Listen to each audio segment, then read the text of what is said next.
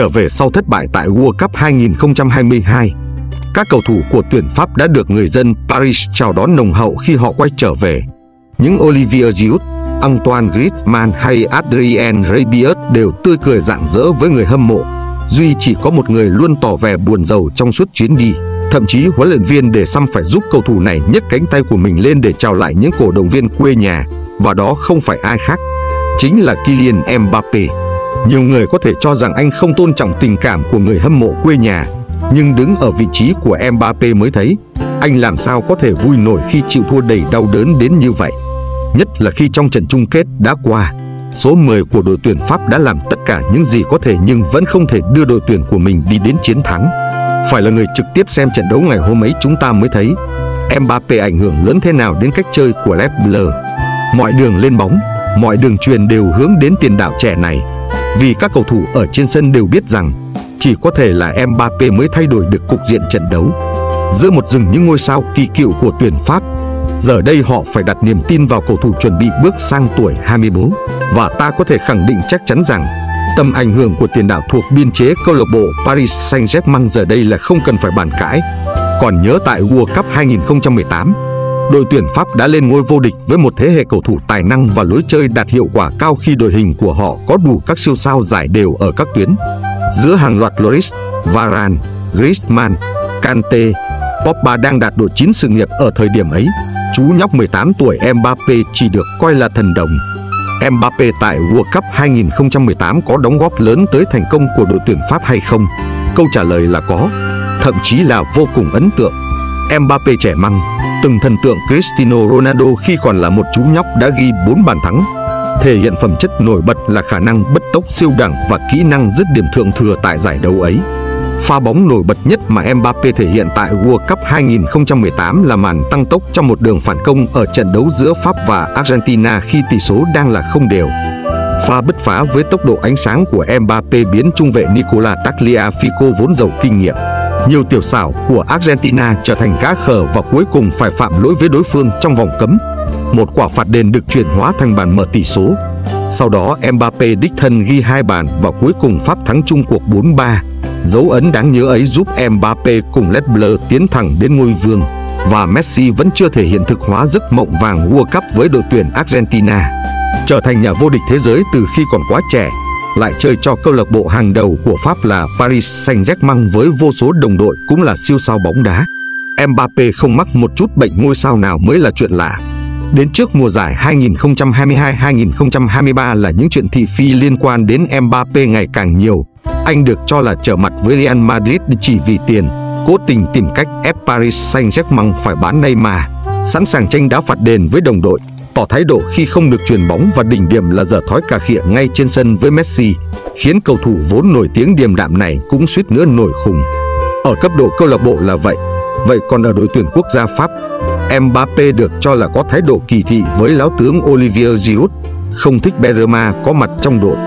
Khi tham dự World Cup 2022, Mbappe là người duy nhất trong số 32 đội tuyển từ chối trả lời phỏng vấn sau trận đấu. Dù đó là quy định của Liên đoàn bóng đá thế giới, Mbappe cứ ngông nghênh như vậy, nhưng vẫn có một người biết trị anh, biết cách thuần phục sao trẻ có cá tính hơi ngỗ ngược này. Người đó chính là huấn luyện viên Didier Deschamps của đội tuyển Pháp. Ông đã làm được việc dường như không ai làm nổi, biến Mbappe thành nhân vật trung tâm, được phép tỏ ra cao ngạo nhưng điều mấu chốt nhất vẫn là luôn tỏa sáng trên sân cỏ. Quan trọng hơn nữa là các đồng đội cũng cảm thấy vui vẻ với điều đó. Mbappe không đi tìm kỷ lục mà chính xác hơn là các kỷ lục đang tìm đến Mbappe qua những bước chạy, những pha dứt điểm rồi ăn mừng bàn thắng của cầu thủ mang áo số 10.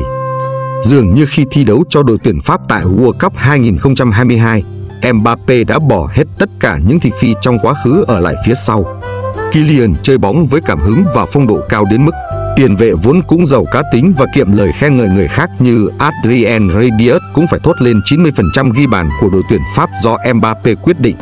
Nên nhớ Obiot từng được coi là ngựa hoang và anh này vốn cũng có thù hằn với Mbappe khi phụ huynh của hai cầu thủ này từng cãi nhau tóe lửa trên khán đài tại Euro 2020 khi người này hết lời chê bai con của người kia và ngược lại. Thế mới thấy Mbappe thực sự giỏi đến mức nào và huấn luyện viên để Xăm đã quản quân tốt ra sao. Những con số chưa bao giờ biết nói dối cả. Mbappe là cầu thủ trẻ nhất cán mốc 12 bàn thắng ở các kỳ World Cup. Chân sút của đội tuyển Pháp cũng trở thành cầu thủ đầu tiên ghi 4 bàn ở các trận chung kết World Cup. Vua phá lưới ghi 8 bàn ở World Cup 2022.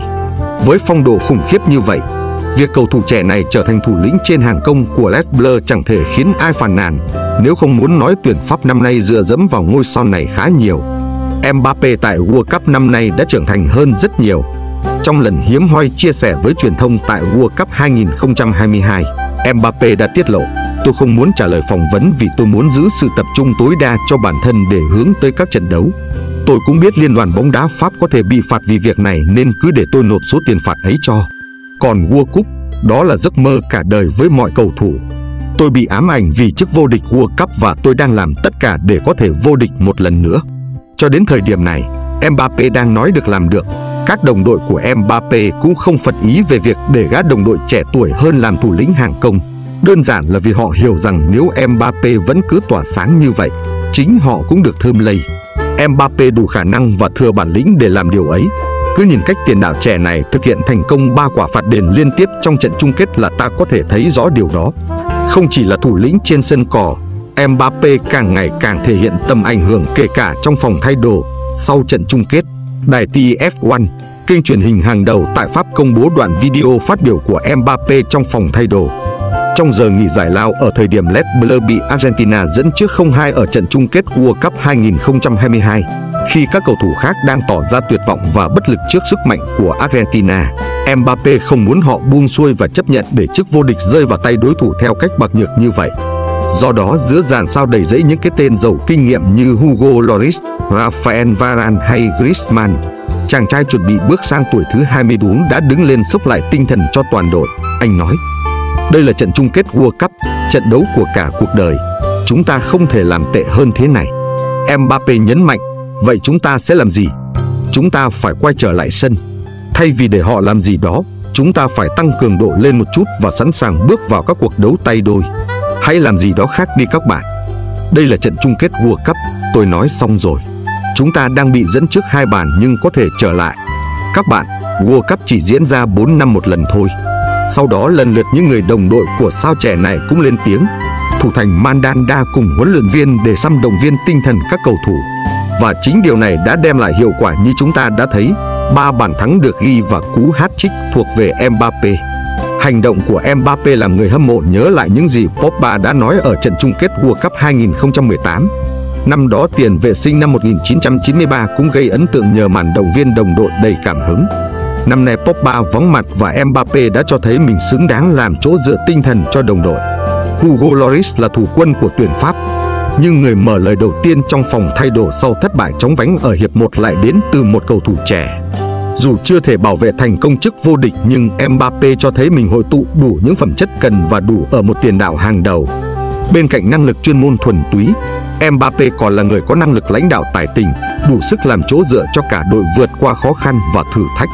Từ một cầu thủ được xem là ngỗ nghịch mắc bệnh ngôi sao, thì giờ đây Kylian lại đang dần cho thấy bản thân phù hợp với vị trí thủ lĩnh tương lai của đội tuyển này. Mbappe đã trưởng thành hơn, gạt bỏ những điều tiếng không hay bằng màn trình diễn thuyết phục trên sân bóng và bằng những lời nói cổ vũ tinh thần giúp những người đồng đội cạnh anh vượt qua khó khăn. Thành tích Á quân World Cup 2022 không phải là quá tệ với đoàn quân của Đề Xăm. Đội tuyển Pháp vẫn là ứng viên vô địch cho Euro 2024 và World Cup 2026 nhờ vào lực lượng hùng hậu với những cầu thủ như Mbappe, Chouameni, Kamavinga. Rất có thể Mbappe trong tương lai gần sẽ tiếp quản chiếc băng thủ quân, trở thành chất keo gắn kết tinh thần thế hệ tiếp theo của đội bóng này.